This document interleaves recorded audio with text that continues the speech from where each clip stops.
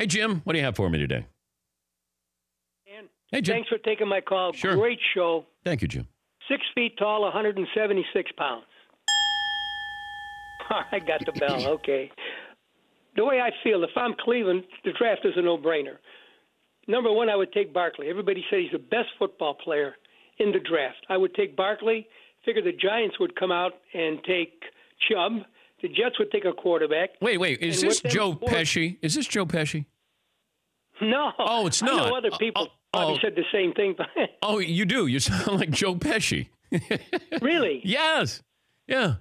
I'm a lot older than Joe, but uh, Can you say, how am I funny to you? how am I funny to you?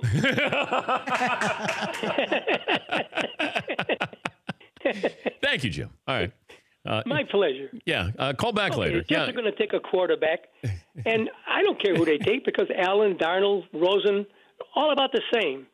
This way, I come right back and I take my quarterback. So I got the best running back and could be the best quarterback in the draft. Now, what do you think of that, or no? I don't. I have no idea, Jim. I'm just mesmerized by your voice. Thank you. The two youths. Yeah. My funny do you?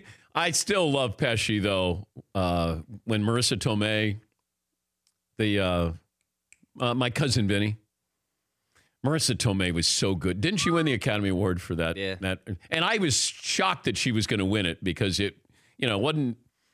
It wasn't one of those movies where you go, oh, okay, you know, the, the Academy is going to love it. Marisa Tomei was just spectacular.